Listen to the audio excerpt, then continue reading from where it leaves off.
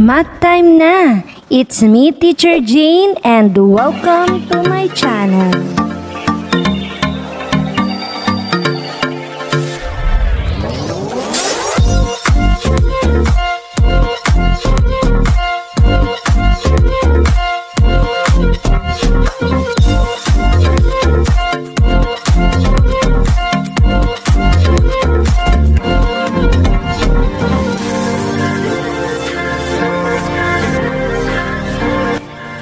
Interesado ka sa subject ko, please don't hesitate to click the subscribe button and click that notification bell para updated ka sa next uploads ko.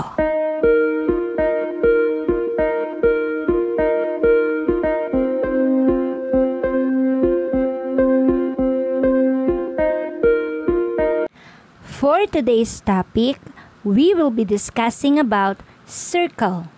A circle is a set of all points in a plane which are equidistant from a fixed point. The fixed point is called the center of the circle.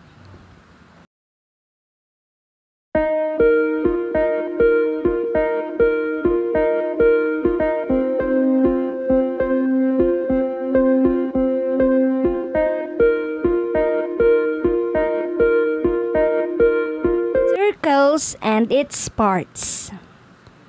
Today, I will be discussing with you the different terms related to circle.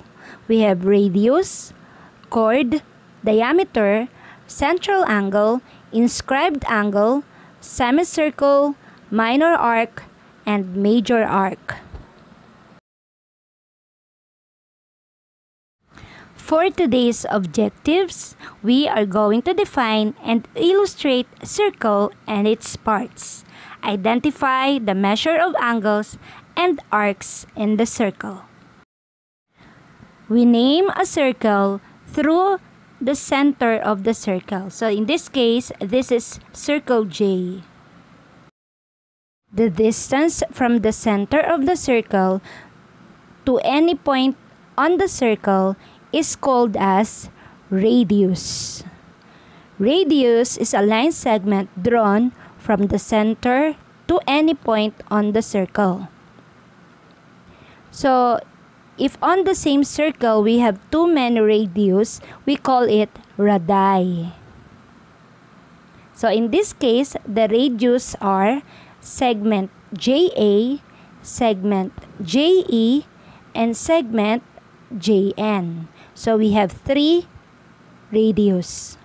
The length measure of all radius on the same circle are all equal. So here another one is circle B. A chord is a line segment with both endpoints on the circle. So we have chord or segment ER. And then another one we have segment AD. So these are examples of chord.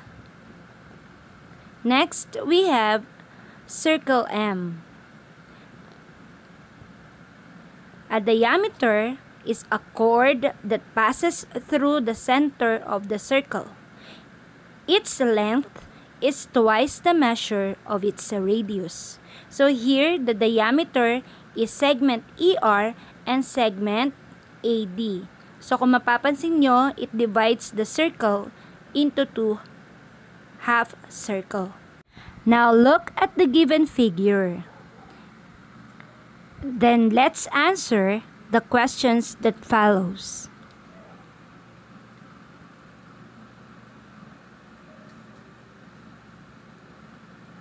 Number 1, what is the name of the circle?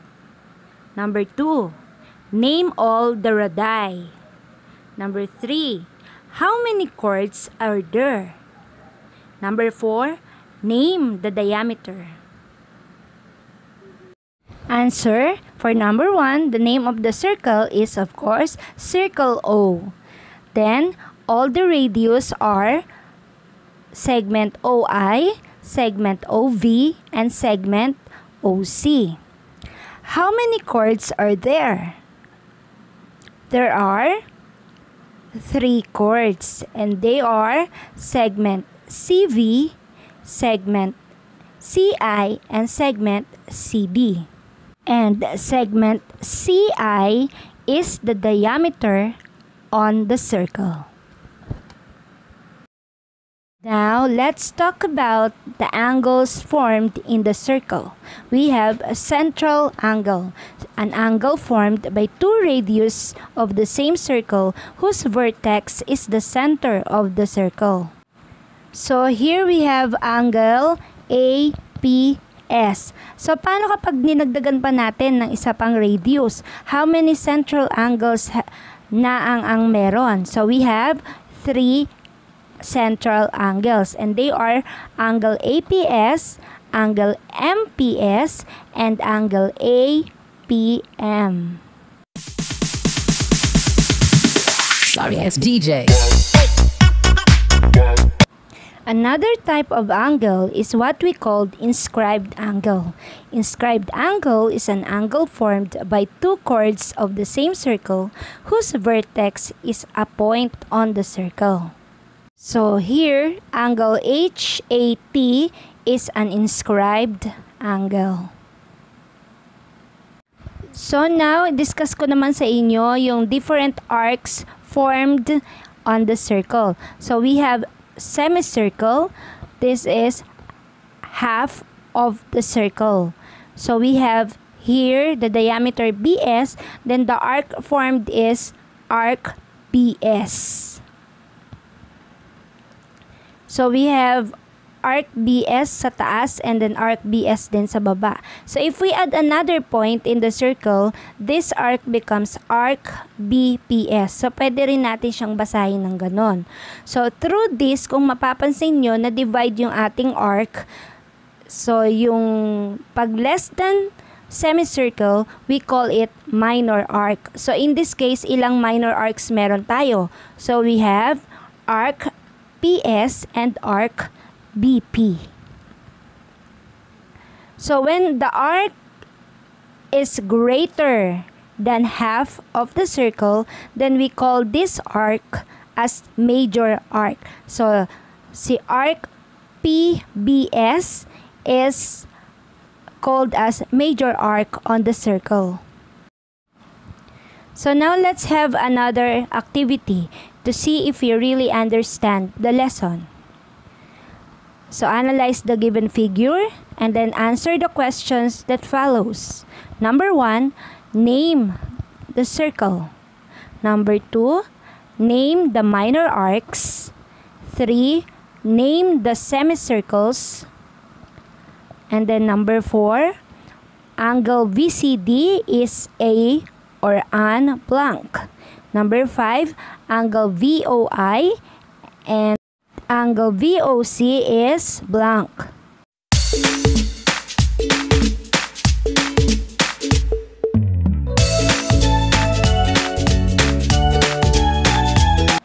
So, syempre, ang name ng ating circle ay circle O.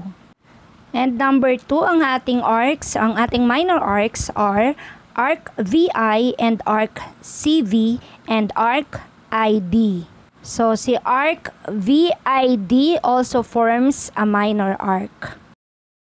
So for number 3, we have two semicircles. We have arc CVI and arc CDI. So pwede natin silang pabasa basahin ng pabaliktad, arc IDC and arc IVC. Number 4, angle VCD is what? Very good, an inscribed angle. While angle VOI and angle VOC forms a central angles. Sorry, it's DJ. The measure of central angle is equal to its intercepted arc.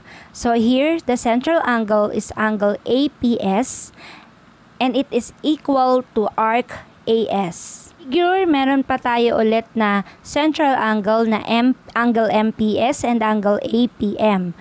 So, if angle APS measures 60 degrees, then arc AS is also 60 degrees. So, if arc MS is 43 degrees, therefore angle MPS is equal to 43 degrees. So angle APM is equal to 60 degrees plus 43 degrees is equal to 103 degrees. So next, the measure of inscribed angle is one half the measure of its intercepted arc. So here the inscribed angle is angle HAT.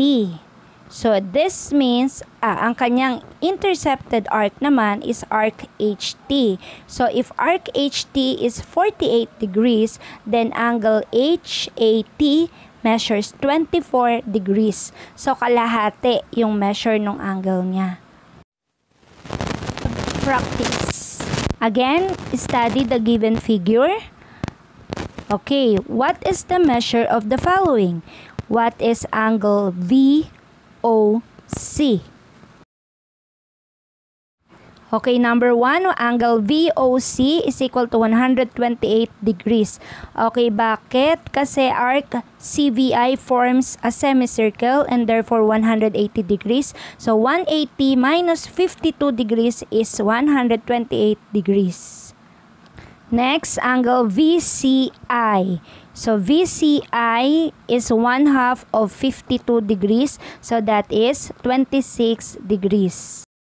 So, next, arc CV. So, kanina kinuha natin ang angle COV is 128 degrees. So, ibig sabihin, arc CV is also 128 degrees.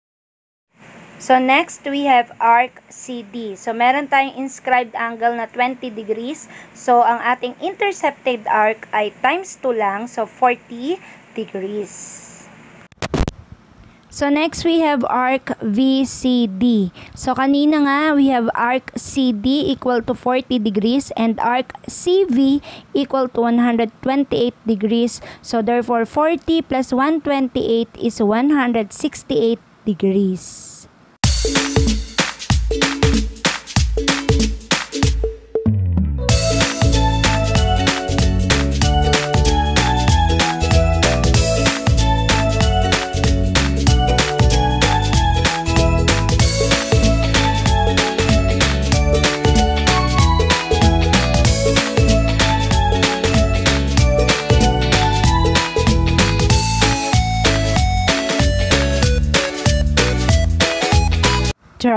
answering this activity and see you on my next video.